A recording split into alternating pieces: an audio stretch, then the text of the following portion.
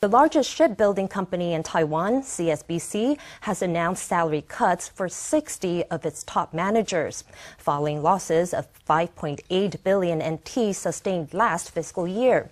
The company aims to turn its books around through diversifying its operations, eyeing military shipbuilding and offshore wind projects. These two giant gantry cranes weigh 350 tons each and are the heaviest in Taiwan. Ten years ago, their owner, CSBC, was earning 3 billion NT dollars a year. But with a downturn in the global shipbuilding market, last year it sustained losses of 5.8 billion NT. CSBC President Cheng Wen-lon will take a 20% salary cut next year, and other senior managers will follow suit.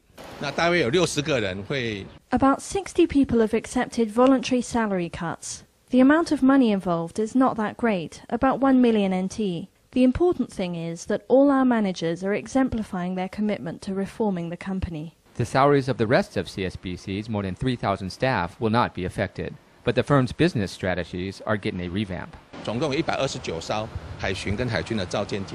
We've built 129 vessels for the armed forces and the Coast Guard. Our warship manufacture and repair zone will mean that after we build these ships, when they're in active service and need to come back to a shipyard for repair, they'll return to this zone, where we'll provide the highest standard of logistical support. CSBC is optimistic that the industry may perk up in 2019. By 2025, they aim to make equal revenues between the three sectors of commercial shipping, military submarines, and offshore wind.